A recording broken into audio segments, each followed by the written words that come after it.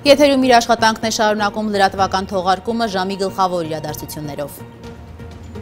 Եվ այսպես պաշտպանության եւ անվտանգության հանձնաժողովի նախագահ Անդրանիկ Քոչարյանը անդրադարձել է 3 հրապարակված Իրաղ մկահարույց հարցազրույցին, ինչի հետևանքով արժանացել է սուր քննադատության։ Համացանցը ողողված է Քոչարյանին դատապարտող հայտարարություններով շատերը այդ թվում այժմ մի շարք падգամավորներ պահանջում են, որ նա ներողություն խնդրի արդարադատության նախկին նախարար, հանրապետական նախկին падգամավոր Արփինե Հովանիսյանից։ Քոչարյանը սակայն այսօր ասել է, չի պատրաստվում ներողություն խնդրել։ Նրա փոխարեն սակայն պատրաստ է ներողություն խնդրել իշխանական մեկ այլ падգամավոր Սասուն Միքայելյանը։ Հիշեցնենք Անդրանիկ Քոչարյանը առաջին նայիմին տված հարցազրույցում Արփինե Հովանիսյանի ծնողների հասցեին որոշ արտահայտություն արտահայտություններ էր արել։ Արփինե Հովանեսյանի մեր արտակի արտադրության նախկին նախարարի, ուրեմն հարցազրույցի մեջ իմ անունը հոլովելու իհարկե ինք ասեց, որպես օրինակ կամ պայմանականորեն Ես որ պարզապես հակադարձել եմ այդ փոքր բանով, պայմանականորեն իմ անունը հոլովելու փոխարեն կարող էր այլ անուն հոլովել, ենթադրենք ձեզ հետաքրող մայրիկի կամ ընտանիքի այլ անդամի եւ նաեւ կամ իրեն, հա, եթե վերաբերվում են նախկինում հայտարարած ունեցվածքի մասին։ Իմ ունեցվածքի հայտարարագիրը դրված է կայքերում կարող են հանգիստ նայեն եւ Արփինե Հովանեսյանը եթե հանկարծ իր պաշտպանման տարիներին էլ կարող էր ամեն ինչին ծանոթ լինել բայց ինքը ես ընդհանրապես գնահատել եմ հետագա իր պաշտոնավարման եւ հիմա որպես հանրապետական կուսակցության նախկին երկրորդ համարը հանդիսացող Արփինե Հովանեսյանը, որը 24 նույն կարծում եմ ինքը տվել է սխալ գնահատականներ, քաղաքական իրողությունների եւ նաեւ իմ անձին վերաբերող, որի պատասխանը ես պարզապես հնչեցրել եմ այսպիսի ձևակերպում։ Եթե որևէ մեկը վիրավորվել է դրանից, բայց ես ինչքան հասկացա, բացի Արփինե Հովանեսյանից, բոլորը վիրավորվել են եւ որոշակի իլյուստրացիայի ինչ որ բան նկատեցի այստեղ եւ վիրավորվածների մեջ տեսնում եմ նաեւ այն ռեսուրսը, որը տիկին նախկին հա նախարարը Արփինե Հովանեսյանը հայտարարեց վերջերս, որ ինքը ամբողջ իր ռեսուրսը կկիրառի այդ երիտասարդների հետ կապված իրավական թնջուկը ինչ որ ձև լուսաբանելու համար։ Եվ ռեսուրսի մեջ տեսնում եմ միայն ֆեյքեր հայոյանքների տեսքով, ես չեմ ջնջել։ Ճիշտ հասկացեք։ Այստեղ հիմա մանիպուլյացիաների բանը չի։ Ես այն ինչ որ շարարկվեց երեք ամբողջ Facebook-յան համույթում, բայց ես կուզեի որպեսի Շարմազանովի փոխարեն Տիկին Հովանեսյանը եթե բան ունի ասելու, ասի, ես չգիտեմ, ասում են։ Հստակ ինչ եք ուզեցել ասել, երբ որ ասում եք իր անհայտ հոր։ Բացատրեմ, բացատրեմ։ Այդ հարց եք տալիս։ Անհայտ նշանակում է հասարակությանը ոչ հայտնի։ Եթե հիմա parzվես, parzում է երեք ամբողջ Facebook-ը փնտրում էր եւ ոնց որ թե հայտնաբերեց, անհայտը արդեն հայտնի չի, հայտնի է։ Գնացեք, կարող է իրենք սխալվում են, չգիտեմ։ Բայց ես օրինակ կարծացի առավոտ ԿՏԵՄ-ը դրել էր Արփին Հովանեսյանի ուրեմն նախընտրական երևի բանը, այնտեղ պապու մասին խոսում էր, հայրիկի մասին ոչ մի խոսք էր, չեմ ուզում այդտեղ մտնել։ Կոռեկտ է, պարոն Քոչարյան։ Ես ասել եմ անհայտ, իսկ չէ, ես Հիմա դուք որպես կանոն միշտ իմ քայլականները շեղում են դեպի կոռուպցիոն եւ այլն, փակելու համար մյուս թեման։ Հիմա դուք մի հատ ներկայացեք, ես իմանամ։ Արմենը հերոստանգերություն Շաքե Ղազարյան։ Շաքե Ղազարյան։ Հիմա հարցը տվեք, ես պատասխանեմ, ասենք առաջ։ Առանց շեղելու, առանց կոռուպցիան հիշելու, որպես տղամարդ կնոջը արված հայտարարություն։ Ճիշտ եք համարում թե ոչ, եւ պատրաստում եք ներողություն խնդրել։ Ոչ, ներողություն չեմ պատրաստում, նախ սպասում եմ, որպեսզի Արփին Հովանեսյանը 24 նուզում իր արած ուրեմն որպես օրինակ հայտարարությունը որևէ ձևով մեկնաբանի, իսկ եթե Արփինե Հովանեսյանի ընտանիքի անդամները նեղացել են, թույլ տվեք, որպեսզի Արփինե Հովանեսյանը եւ ընտանիքի անդամները հանդես գան այդպիսի առաջարկով։ Ես առաջին հերթին, եթե ես վիրավորել եմ իր հայրիկին, ես պատրաստ եմ հանդիպել հայրիկի հետ, եթե հայրիկը ցանկանում է, ես հասանելի եմ, որևէ խնդիր չեմ տեսնում, եւ քննարկենք, թե այս խնդիրը որտեղ առաջացել։ Ես լրագրողի հարցին եմ պատասխան ընդամենը։ Լրագրողը հարցնում է. Տիկին Հովանիսյանը ձեր մասին sense բան ասել։ Ասեմ լավ արե Տիկին Հովանիսյանը, գենդերային հավասարություն, հա։ Էս ինչ եք ասում։ Տիկին Հովանիսյանը առաջերտին քաղաքական գործիչ է։ Տիկին Հովանեսյանը սովորական կին չի։ Ինքը հանրապետական կուսակցության երկրորդ համարն է։ Տիկին Հովանեսյանը կրում է պատասխանություն նաև իր քաղաքական հայտարարությունների համար։ Ես ընդհանրապես պատասխանել եմ։ Եթե դուք ուզում եք, որ Տիկին Հովանեսյանը ինչ ասի, նախկինում էլ ասում էր, ու մարսել է, ոչ մեկը չի պատասխանել։ Հիմա պարզապես ես ասում եմ, ես այն մարդը չեմ, որ որպես օրինակ Տիկին Հովանեսյանը ասի, ընդ որում օթից։ Ես էլ ասում եմ Տիկին Հովանեսյան, փաստերով խոսի, դու եղել ես Արդարադատության նախարար, ես ինչ խոսակցություն եմ։ Փաստեր։ Եթե գիտես, որ Անդրանիկ Քոչյանի ինչ որ բան արել, փաստերը եւ ուղարկի համապատասխան մարմիններին։ Եթե չի արել, նշանակում է դու պիտի պատասխանը պատրաստել ես ստանաս։ Քաղաքականությունը դա է։ Քաղաքական գործիչը պետքա պատրաստ լինի իր ասացի համար, թե հարվածներ ստանա, թե հարվածներ ընդունի։ Այդպես Դե է։ Անդրանիկ Քոչարյանը նման բան ասա, ես իր փոխարեն երեխություն եմ պատրաստում։ Արփին Հովանեսյանից։ Իսկ պատրաստվում եք քննիչ հանձնաժողով ստեղծել քննել Անդրանիկ Քոչարյանի վարկը, ի վերջո դա նոր Հայաստանում այդպիսի Ին արտահայտությունները։ գործիքով ես պատասխանը հարցին։ Այսինքն ինքնին դատապարտել է այդ արտադրությունը ձեզ Հատապարտել է Անդրանիկ Քոչարյանի մենք են, թե նման բան ասա, ես իր փոխարեն Ինձ համար ընդունելի չեն անձնական տիրույթում արվող ցանկացած վարվող ցանկացած քաղաքական դիսկուրսը։ Այնինչ վերաբերում է անձնական տարածքին, անձնական տիրույթին, անձնական դաշտին չպետք է ուղակի տեղ ունենա մեր քաղաքական խոսքում։ Եվ ուզում եմ նշել, որ ես շատ ուրախ կլինեի, իհարկե, որ այն արձագանքը, որը եղավ բոլոր կողմերի կողմ- կողմերից, դրսևորվեր անխտիր բոլոր դեպքերում։ Այդ թվում եւ այն պարագայում, երբ այլ բարձրաստիճան պաշտոնյայի ընտանիքի հետ կապված, այդ թվում եւ անչափահաս երեխայի հետ կապված, արվում է անընդունելի հրաապարակային մեկնաբանություն, արտահայտություն։ Այնպես որ ինձ համար միանշանակ է, որ ընդունելի չեն անձնական տիրույթում որևէ որևէ քաղաքական խոսքը։ ըմ, այդ տեսանկյունից նաև ա, պատասխան անձնական վիրավորանք հասցնելը նույնպես հակասում է հենց այդ խոսողների տրամաբանությանը եւ այն արժեքներին, որոնք նրանք ասում են, որ այդ արժեքներից ա, դրդված են անում հայտարարությունը։ Իդեպ այս խնդրին է անդրադարձել նաև Հայաստանում Ֆրանսիայի դեսպան Ջոնաթան Լակոթը, նա իր Facebook-յան էջում տարածել է այլոց քննադատող հայտարարությունները, այդ թվում օմբուդսմեն Արման Թաթոյանի գրառումը ընդգծելով։ Առողջ եւ կարևոր արձագանք պարոն Թաթոյանի կողմից ի պատասխան ատելության խոսքի, հատկապես երբ այն վերաբերում է քաղաքականությամբ զբաղվող կանանց։ Այլ թեմաների մասին Սահմանադրական դատարանի նախագահ Հրայր Թովմասյանը չի մասնակցի ազգային ժողովում իր հարցի քննարկման այս մասին նա տեղեկացրել է տարածած հայտարարության մեջ շեշտելով. Իշխանական իմ քայլը խմբակցության կողմից նախաձեռնած իր լիազորությունները դադարեցնելու գործընթացը ըստ էության ունի քաղաքական նպատակ Թովմասյանի հայտարարությանն անդրադարձել է ազգային ժողովի փոխնախագահ Ալեն Սիմոնյանն ասելով, որ սահմանադրական դատարանի նախագահը պետք է խորհրդարան գար եւ պատասխաներ падգամավորների հարցերին։ Անկեղծ ասած լավ կլիներ, որպեսզի պարոն Թովմասյանը ստեղ ներկա լիներ, լիներ, բայց շատ բացասական եմ գնահատում իր վերջի հայտարարությունը, ինչպես նաև վերջին հարցազրույցը եւ ընդհանուր առմամբ իր գործունեությունը։ Եվ կարող եմ ասել, որ իր հայտարարության մեջ նա եւս մեկ անգամ ապացուցեց այն, ինչի մասին այսօր խոսում են բոլորը, առայն, որ ինքը Հայաստանի Հանրապետական կուսակցության ներկայացուցիչ է մնացել, խորհրդի անդամ է մնացել եւ ը, տարանջատելով ինստիտուտի ազգային ժողովը որպես ինստիտուտ Բարգավաճ Հայաստան կուսակցությանը այլ կուսակցություններից ազգային ժողովից դա քաղաքական հերթական հայտարարությունն է եւ անհարգալից վերաբերմունք ազգային ժողովի որպես ինստիտուտի նկատմամբ մարդը որը որ երեք ամպագորգոր բաներից էր խոսում հայրենասիրությունից, պետությունից, պետականաշինությունից, պետական ինստիտուտներից իրավունք չունի ազգային ժողովը տարանջատել, չհարգել եւ նման հայտարարություն։ Պարոն Թովմասյանի իրավունքն է ներկա գտնվել կամ չգտնվել եւ եթե որոշել է ներկա չգտնվել, ապա որևէ առարկություն այդ առումով լինել չի կարող։ Ինչ վերաբերում է բուն նախագծի հետ կապված պարոն Թովմասյանի մեկնաբանություններին, ենթադրում եմ երեք նրա հարցազրույցից եք մեջբերում անում։ Նաև այսօրվա հայտարարությունից։ Պարոն Թովմասյանը երեք հարցազրույցի ընթացքում նշել էր, որ քանի որ ընթացակարգը իրավական է, նա զերծ կմնա որևէ այդ դիրություն որևէ հայտարարություններ անելուց եւ այնուհետեւ չգիտես ինչու տեղափոխվում է քաղաքական դաշտ։ Դե այս параգայում ակնհայտ պարոն Թովմասյանը սուբյեկտիվ վերաբերմունք է դրսևորում, որովհետեւ վստահեցնում եմ, որ հարցեր կլինեին ոչ միայն ենթադրում եմ ոչ ոչ միայն Բարգավաճ Հայաստան խմբակցության կողմից, այլ նաեւ կլինեին Քայլը խմբակցության կողմից եւ և ենթադրում եմ նաև լուսավոր Հայաստան խմբակցության կողմից։ Սա ինչով է պատճառաբան մարդիկ այն փաստով, որ Բարգավաճը արդեն հայտարարել է քվեարկությանը չմասնակցելու մասին, իսկ դուք իմ քայլը եւ լուսավորը նաև սատարում եք ձեր նախագծին։ Միգուցե սոլիդարության դրսևորում։ Ա, Պարոն Թովմասյանի իրավունքն է ներկա գտնվել կամ չգտնվել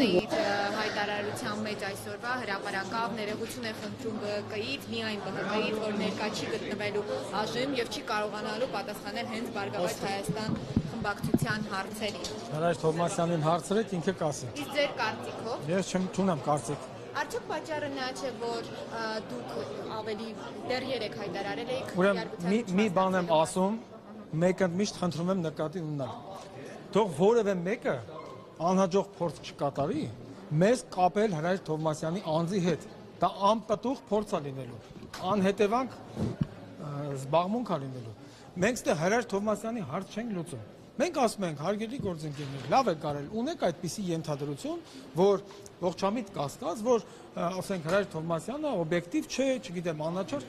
դիմեք, լավ եք անում։ Դուք ինչու չեք ուզում այդ գործընթացին մասնակցել։ Իսկ ով է ասել, որ մենք պարտավոր ենք մասնակցել ամեն մի գործընթացին։ Մենք արդեն ասել ենք, որովհետև իրավական հիմնավորումները մեր կարծիքով բավարար չեն, որովհետև այնտեղ չկա էական կարգապահական խախտում։ Դրա համար էլ չենք ուզում։ Ով է ասել, որ մենք պարտավոր ենք միանալ ցանկացած նախաձեռնության։ Մենք միանում ենք նախաձեռնություններին այն ժամանակ, եթե համոզված ենք լինում, որ դրանք իրավական հիմնավորվածության տեսանկյունից խոցելի չեն։ Իսկ դուք Այստեղ հրաշ- եք խոցելի է։ Բա մենք երեք չասեցինք։ Ո՞րն է խոցելի, ո՞ր կետներ այս 4 Ուրեմն այդտեղ բազմաթիվ բազմաթիվ անգամներ արդեն մեր падգամավորները անդրադարձել են։ Հիմա ես նույն բանը կրկնելու քանի անգամ կարող եմ։ Կարո՞ղ եմ։ Երեք Գագիկ Ծառուկյանն է հայտարարել, որ խոցելի են թույլ են, բայց թե որ կետերն են թույլ։ Ասել ենք մենք, խավոր սանեկությունը, ասենք ի՞նչ կապ ունի։ Խավոր սանեկությունը իրավական կատեգորիա է, հարգելի լրագրողներ։ Իսկ շահերի բախում չկա։ Չկա շահերի բախում։ Օրենքով որևէ օրենք ցույց տվեք, որտեղ գրած լինի, որ քանի խավոր սանեկությունը շահերի բախում է դա։ Դա ոչ մեր ազգակցությունն է, ոչ մերցավոր ազգականն է, ոչ Գիտեմ, որ սրբությունը դրա համար ահագին ես վերջին մի քանի օրը հասցրեցին ոմանք վարկաբեկել այդ խավորի սրբությունը։ Կառավարությունն այսօր քննարկել է հակակոռուպցիոն ռազմավարության 2019-22 թվականների միջոցառումների ծրագրի նախագիծը։ Նախատեսվում է ստեղծել կոռուպցիայի կանխարգելման հանձնաժողով եւ հակակոռուպցիոն կոմիտե։ Ամբողջությամբ վերանայվելու է իրավապահ համակարգը։ 2021-ին մի շարք քնչական վարչություններ միավորվելու են եւ գործելու է միանգամից 3 քնչական մարմին՝ քնչական կոմիտեն, հատուկ քնչական ծառայությունը, որը կքննի խոշտանգումների վերաբերող գործերը եւ հակակոռուպցիոն կոմիտեի կողմից կատարված հանցագործությունները, ինչպես նաեւ հակակոռուպցիոն կոմիտեն, որը կքննի կոռուպցիոն բնույթի հանցագործությունները։ Կոմիտեի աշխատակիցները բարևարկության ստուգման կենթարկվեն, կստեղծվի նաեւ հակակոռուպցիոն դատարան։ Հակակոռուպցիոն ռազմավարության եւ միջոցառումների ծրագիրը հաստատելու մասին այս փաստաթղթի համապարփակ փաստաթղթի վերաբերյալ պետական եկամուտների կոմիտեն իր տեսակետը հայտնել է հունիսի 21-ի գրությամբ եւ այդ ժամանակվա ռազմավարական ռազմավարության մեջ նախատեսված չի եղել պետական եկամուտների կոմիտեի քնչական վարչությունը քնչական կոմիտեի կազմ տեղափոխելու խնդիրը դա ավելի ուշ քննարկումների արդյունքում քննարկումների ժամանակ է այդ գաղափարը հասունացել կամ քննարկման առարկա դարձել մենք հնարավորություն չենք ունեցել համապարփակ ուսումնասիրել կամ ներկայացնել մեր հակապաստարկները պետական եկամուտների կոմիտեն լինելով իրավապահ մարմին ունի օպերատիվ գործողություններ եւ հետաքննություն իրականացնելու գործառույթներ եւ քնչական վարչություն ունենալու հանգամանքը ըստ էության այդ ամբողջ նախաքննության շղթան շատ ավելի տրամաբանական է կառուցում եւ այսօր շատ կարեւոր օղակ է մեր արժեվ դրված խնդիրները ախտարելու համար։ Ես ուզում եմ ասեմ, այստեղ մի հատ նուրբ քաղաքական պահ կա, այսինքն մերձ քաղաքական պահ, որ հիմա կան այդպիսի հայտարարություններ, որ այ կառավարությունը հայտարարեց վետինգ վետինգ, հետո վետինգից հրաժարվեցին եւ այլն եւ այլն մենք ուղղակի ուղիղ ասում ենք, քանի որ մենք հասկացանք այդ բառը ինչ որ ալերգիաներ է մեծ առաջացնում, մենք որոշեցինք բովանդակությունը մնա, վերնագիրը լինի ուրիշ եւ տրամաբանությունը այնա, որ մենք ինչ ենք ասում, մենք ասում ենք, որ Հայաստանի Հանրապետության դատավորի, պաշտոնյայի, բարևարկության բարևարկությունը ստուգելու գործում մեխանիզմներ պետք է լինեն եւ մենք այդ մեխանիզմները հետեւական քայլ առ քայլ իրականացնում ենք, ստեղծում ենք այս փոփոխություններով ազգային անվտանգության ծառայությունը միանշանակ դառնալու է շատ ավելի ուժեղ կառույց, շատ ավելի լուրջ գործառույթներով եւ շատ ավելի խորքային բովանդակային գործառույթներով եւ ըստ էության պիտի դառնա մեր պետության անվտանգության ժողովրդի պետության անվտանգության ողնաշարը եւ նույնն էլ ըստ էության վերաբերվում է ոստիկանությանը իրականում այսպիսի բան կա եւ գիտեմ որ նաեւ կլինեն որ այ թուլացնում են կառույցները եւ այլն եւ այլն այնօր շատ մանրամասն են քննարկել եւ մեր եզրակացությունն է որ շատ լուրջ ուժեղանալու այս կառույցը եւ շատ ավելի շատ ավելի կարևոր լծակներ է ունենալու իրոք երկրի ազգային անվտանգությունը ապահովելու, սպասարկելու եւ սպառնալիքները կանխարգելելու վրա։ Մեր խոսակցությունը հենց հատկապես վերաբերվում էր դրան որ առավել կարևոր է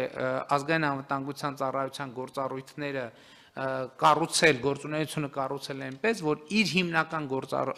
անելիքը լինի ազգային անվտանգության համար առաջացող սպառնալիքները կանխարգելելը։ Ոչ թե դրանք տեղի ունենան եւ մենք արդյունավետ դրանք բացահայտենք, այլ այնպես անենք, որ դրանք ընդհանրապես տեղի չունենան եւ դա շատ լայն եւ շատ լուրջ եւ շատ ժամանակակից եւ 21-րդ դարի մարտահրավերներին համապատասխանող կառույց պիտի լինի մեր տրամաբանությամբ եւ ոչ մի կասկած չկա, որ այդ այդ մեր մեր առաջ դրված խնդիրը մենք կլուծենք իսկ ոստիկանության պարագայում նույն խնդիրը դրվում է արդեն ներքին հասարակական անվտանգության տեսակետից եւ ելի այդ քննարկման արդյունքում մեր մենք եկանք այն համոզման որ ոստիկանությունը նույնպես այս տրամաբանության մեջ բավականին ուժեղանալու է հանրային անվտանգությունը ապահովելու իմաստով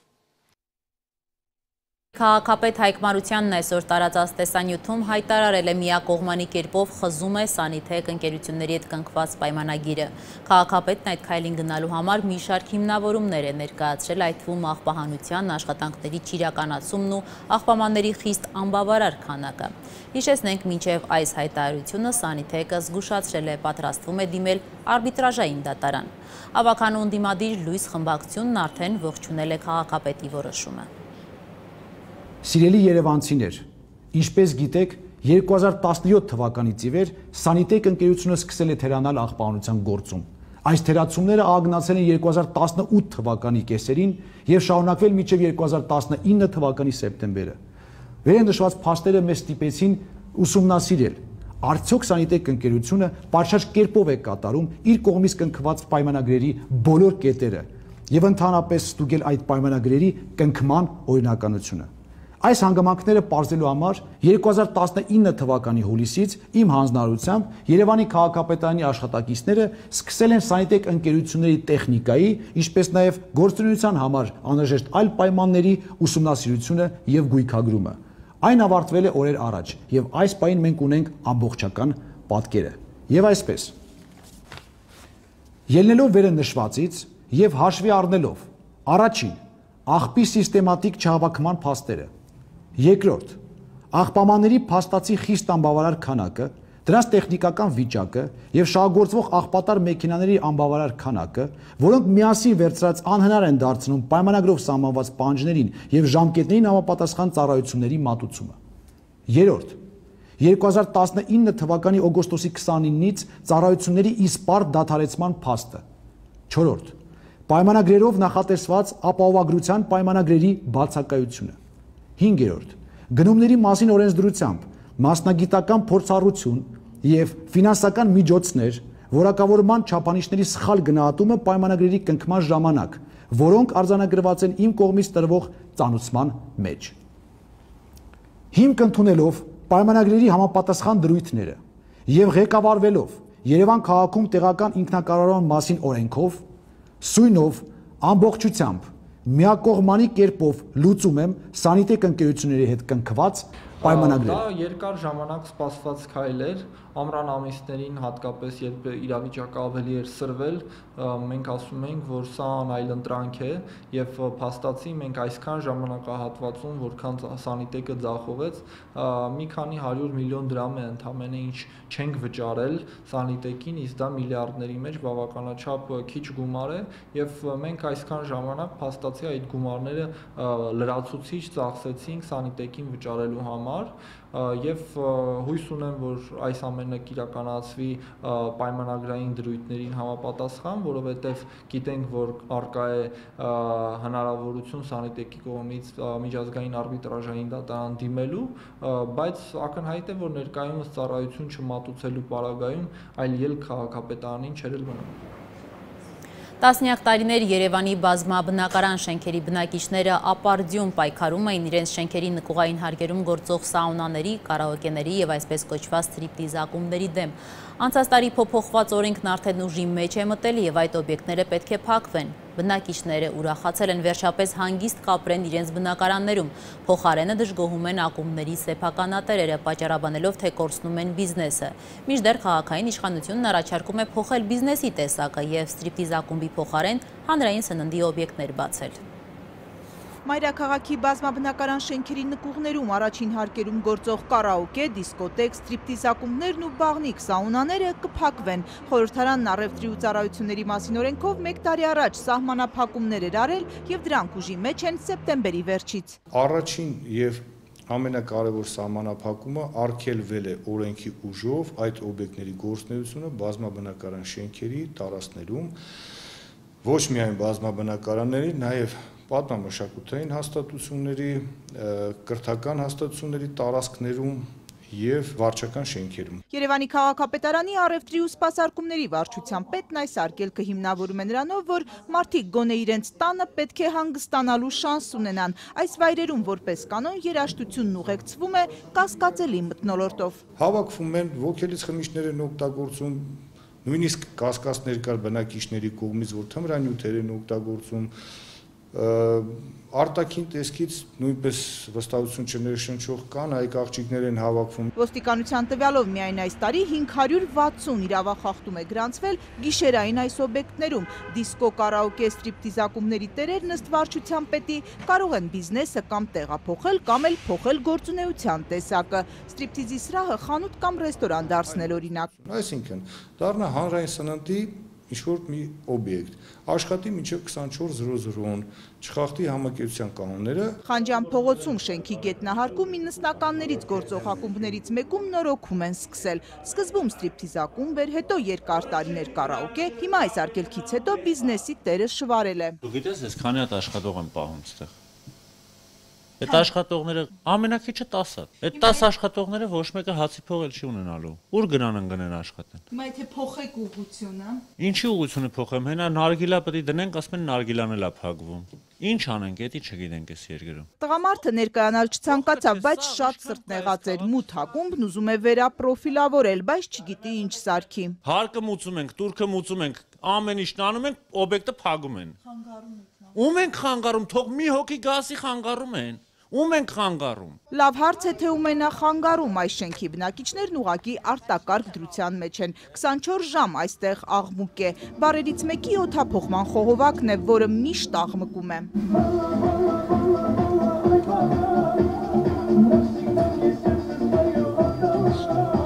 Հիմա մեր խնդիրը այն էր, որ իրանք գիշերը 12-ից հետո չաշխատեն, որտեղ sense-տենց խնդիր էր առաջանում։ Կոնկրետ 31-ի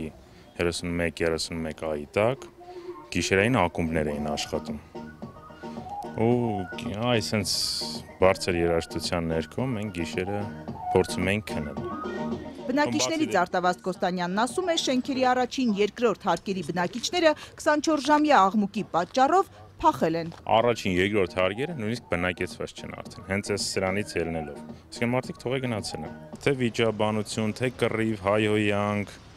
մեքենաներ են կուտակվում փողոցի կողմից գիշերը,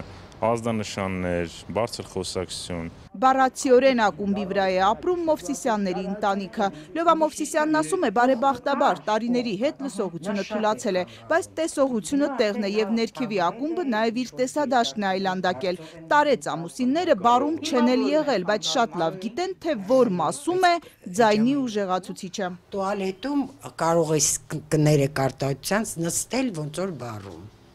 Եթե ուժեղ է լինում, ուժեղ է լսվում այնտեղ։ Ուրեմն տակը ընդեղ է դրած, դինամիկները ընդեղ է դրած։ Ներքևում համաձայն չեն։ Տատիկ պապիկի տանը կարաս լսես, եթե ես բարձրացնեմ, բայց ես չեմ բարձրացնում, ինքը իրավունք չունի, ինքը չափ ունի մուզիկային։ հայտի հիմա ցերեկա ես եմ բարձրացել, թույլատրվում է։ Վարչապետի հրամանա, միջև գիշերը 12-ի իշ կուզենք կանենք։ Բնակելիներից պետք է հեռացվեն կարաոկե, դիսկոտեկ, ստրիպտիս ակումբները, սաունաները, բարերի մասին խոսք չկա։ Առևտրի ու սպասարկումների վարչության պետն ասում է, եթե պարզվի դրանք էլ են մարդկանց անհանգստացնում, կմտածեն խստացման մասին։ Մեր սման սրահներն էլ մոնիտորինգի տակ են։ Մայրաքաղաքային բարերը հաճախ տարօրինակ ծառայություններ են մատուցում։ Առանձնասենյակներ ժամը 1000 դրամով։ Կան նաև ակցիաներ, օրինակ 800-ով։ Հայտնի չէ այդ բարերում երգում են, մեր կանում թե շոք է հարվում, բնակիչները շեշտում են, սա պետք է վերահսկվի։ Իրանք ստանալով ինչ որ լիցենզիաներ տարբեր, ասենք սրճարան, բար, բայց բարձր երաժշտություն, դիսկոտեկ, ամեն ինչ հնարավոր, այսինքն այստեղ վերահսկման հարց էլ կա, որ պետքա իշխանությունները վերահսկեն։ Հովիկ Սաֆարյանը շեշտում է, օրենքը հստակ է սահմանել, օրինակ դիսկոտեկը ձայնի հատուկ սարքավորումներով ու մշտական պարահրապարակով ակումբն է։ Ստրիպտիս ակումբն էլ բարից տարբերվում է։ Հեստապար, Պարերով եւ երաշտությամբ ուղեկցվող բեմական ներկայացում, որի մասնակիցները ներկայացման ընթացքում աստիճանաբար մասամբ կամ լրիվ մերկանում են։ Փակվող ակումբների տերերը հնարավոր է քողարկվեն այլ գործունեության տակ։ Պրոցեսը պետք է վերահսկվի, ասում է քաղաքապետարանի պաշտոնյան։ Օրինակ ջրային տնտեսության պետական կոմիտեի շենքում տարիներ շարունակ գործում էր ստրիպտիզ ակումբ, հիմա այն կոչվում է ջենտլմենների ակումբ, բայց հայտնի չէ բովանդակությունը փոխվել է թե ոչ։ Տերյան փողոցի վրա հայտնի Օմեգան է տարիներ շարունակ Տերյան 59 շենքի բնակիչները հիմնականում մտավորականներ բողոքում էին։ Անօքուտ Օմեգան շարունակում է մնալ ստրիպտիզ ակումբ։ Բանաստեղծ Արտեմ Հարությունյանը հերթական սահմանափակման մասին լսել էր, բայց զրո լավատեսություն։ Ա, չեն թակել, դա դա դա ուրիշ իդրա է։ Իդրա Եվ ծրագրի այս հատվածում առաջարկում եմ ծանոթանալ միջազգային իջադարձություններին ամփոփ տեսաշարով։ Ադրբեջանի ռազմական գերատեսչության պնդմամբ չորեքշաբթի օրը հայկական զինուժը կրակ է բացել Ղազախի շրջանում էքսկավատորի ուղությամբ, որի վարորդը քաղաքացիական անձ հանդիսացող Սաֆարլի Ալեկպերը Օղլու Աբիշովը մահացու վիրավորում է ստացել։ Ըստ նույն աղբյուրի այդ պահին էքսկավատորն իրականացնում էր ճանապարհի վերանորոգման աշխատանքներ։ Ադրբեջանական լրատվամիջոցները վկայակոչելով պաշտոնական հաղորդագրությունը նաև փոխանցում են, թե ի պատասխան ադրբեջանական զինուժը լռ հեռացրել է հակառակորդի կրակակետերը։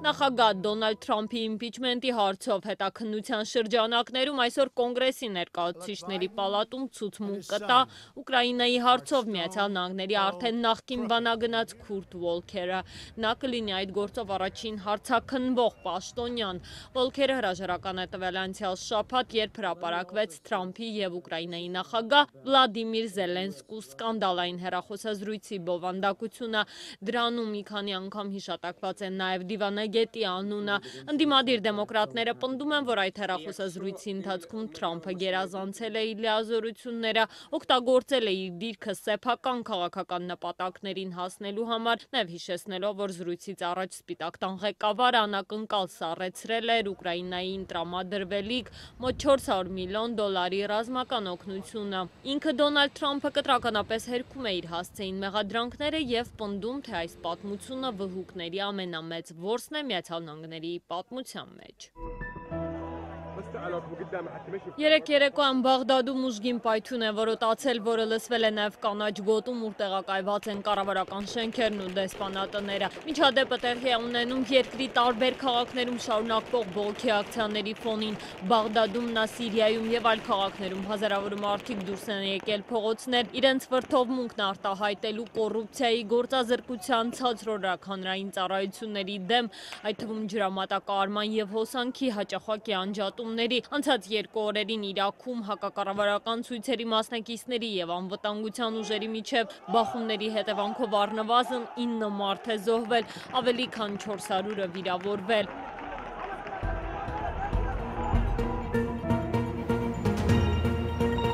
Այսքանով ավարտում ենք լրատվական թողարկումը, այն սիրով վարեց Ռուզաննա Ստեփանյանը։